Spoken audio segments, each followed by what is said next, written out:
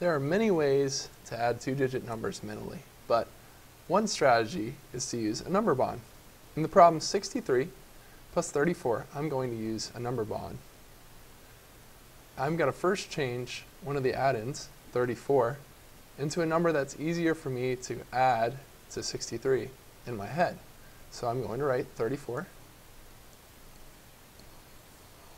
which is going to be my whole in the number bond. And the parts that make it up are its tens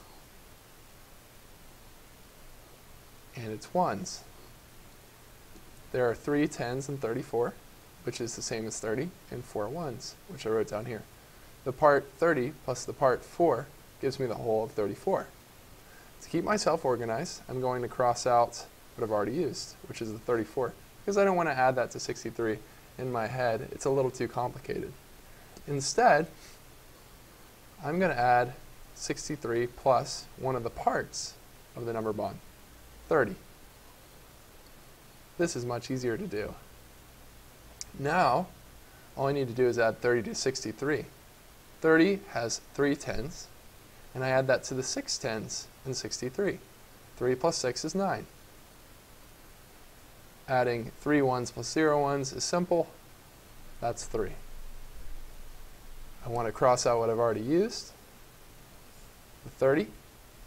And now I'm down to my last step.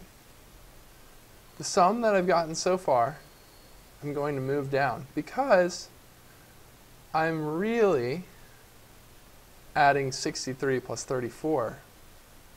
So far I've only added 30 to 63. That's just one of the parts of my number bond.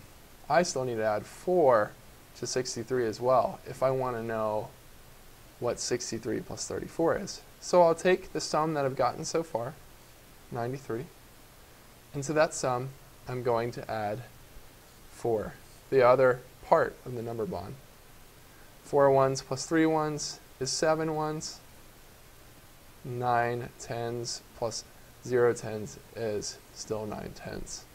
So I can say that's 63 plus 34 is equal to 97. And with another adding strategy, I can check that my work is correct.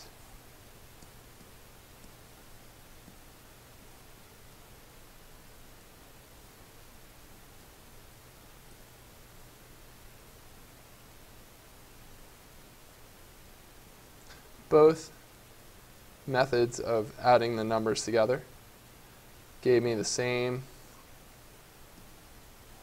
answer.